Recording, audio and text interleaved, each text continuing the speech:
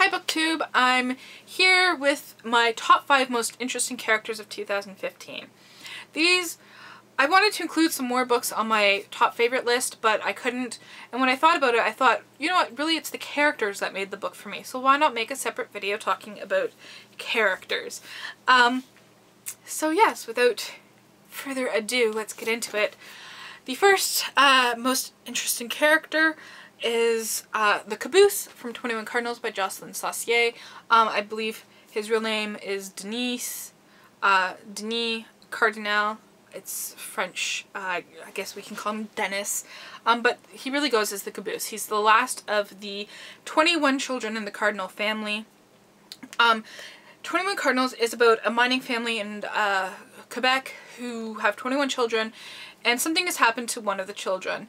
Um, now, the first uh, um, point of view that we get is from the caboose, who doesn't really know what happened um, because he was so young at the time of the tragedy and they kind of covered it up. Um, so he's so endearingly oblivious to what's going on. Um, this is, you know, like 30, 40 years after this thing has happened. And he's just so sweet and kind of a pathetic character and you just kind of want to wrap him up because you know you, you realize he's destroyed um, by the end of the book by finding out what's happened um, to his sister. It's really really good character. Really good characterization there. The next one is from Fifth Business the character of Liesl um, She's described as incredibly ugly, but also incredibly intelligent. She's a really strong female character who just goes out and takes what she wants. She doesn't care what anybody thinks about her. She's this this is the way that life is because that's the way I want it to be. Um, she just, you know, she is also very compassionate, but in a very different way. Um, she wants to make sure that people live their lives to the fullest. And the way she does that is really quite interesting. Um, I suggest you pick up Fifth Business even just to read about Liesl. She's such a fascinating character. Next is Jude. Um, he's from When Everything Feels Like the Movies by Raziel Reid. He was actually quite an unlikable character for me, um, but that doesn't mean that he wasn't interesting. Um, I didn't like him because I felt he was very self-destructive, that there were so many other paths for him to take, but he didn't. Um, and you can kind of understand why. So he's very brash, vulgar, obsessed with fame without talent, without that aspect of talent, just being famous for the sake of being famous, kind of like, you know, Kardashians and such. Um, and he's he's also, he's a gender fluid, very openly gay um, uh, person as well. So what why he does that is because he's being bullied, because he's having trouble with his sexuality, because um, his home life is absolutely horrid. Um, so the way he deals with it is to be that kind of person. And I thought he was a very interesting character to read about, if not likable. Next is Nik Kranis in Stone Arabia. I don't have the hard um, I don't have the dust jacket for my hardcover here. Um, Stone Arabia is written by Dana Spiotta. It's a book about memory. Um, and Nik Kranis is actually the brother of uh, the narrator in this novel. But Nik Kranis is a musician. Um, but he's also, I guess, very introverted, very asocial, maybe not antisocial, but asocial, doesn't feel the need for social interaction.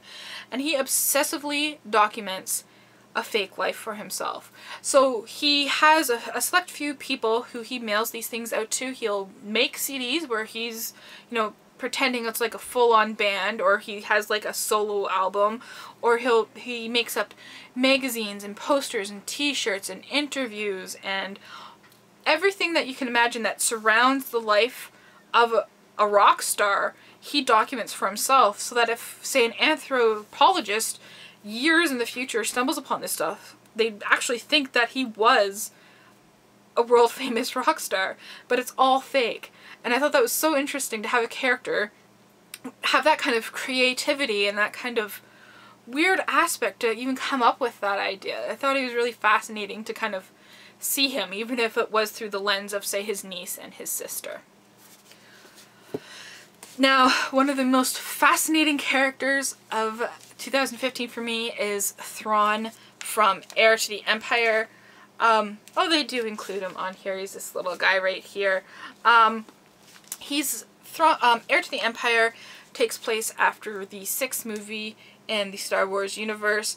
It's now no longer canon. I really wish they had made this into a movie. It's so fascinating. Thrawn himself is amazing, amazing, amazing, amazing. Um, he's the villain. He's, um, he, what he does is he studies the culture and the art and the architecture and everything to do with the culture of the person that he wants to defeat. The, the culture, the world, the city that he wants to defeat so that he can anticipate how they're going to react or how they're going to act so that he can be steps ahead of them. And he uses very unusual means um, to get to know his enemy and to be able to defeat them. And it's just so fascinating reading about how he goes about and, and, and how he goes about to do this. Um, and he also manages to find a way to stop the force from affecting him. It is really quite uh, interesting. So the characters obviously have to come up with ways to get around him because he seems like an unsurmountable enemy. So yes, those are my top five characters of 2015. Let me know down below what your favorite character was this year, and thank you for watching.